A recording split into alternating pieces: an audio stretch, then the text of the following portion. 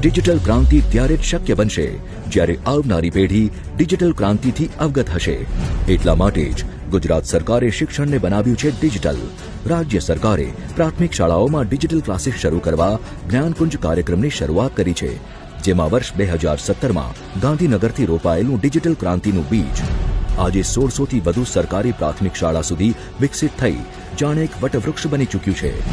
હવે વિદ્યાર્થીઓ laptop, projectors IR camera smart board, speakers અને વાઈફાઈ જેવી સુવિધા સાથે અભ્યાસ કરે છે.